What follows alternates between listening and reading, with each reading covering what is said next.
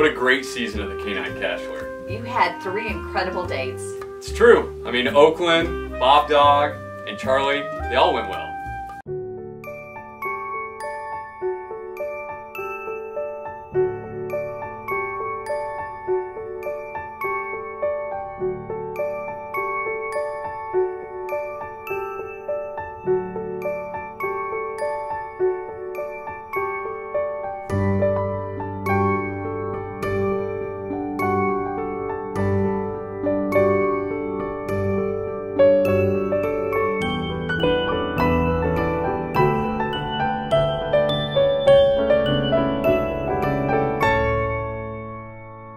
But not all the dates went well with you. That's true. I mean, Kyla, that was a disaster. Oh, that was hilarious when she slammed the door on you.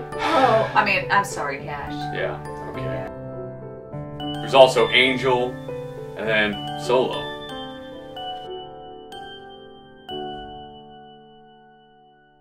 So here's a big question. Have you made your decision yet? I think I have. I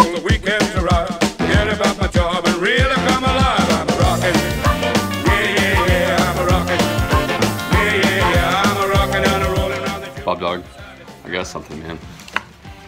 You see that? See the sheets? That means you're mine. you're mine, my man. It's me and you now. It's the Bob Dog blog. It's uh, day number two and a half with Bob Dog here. Doing pretty good. He escaped yesterday. Had to chase him around a little bit and a couple times actually, but he's doing good and super loyal and he can sit. We've been on the leash. He likes his new alligator toy. Love you too, man. Keep you up to date, but so far so good.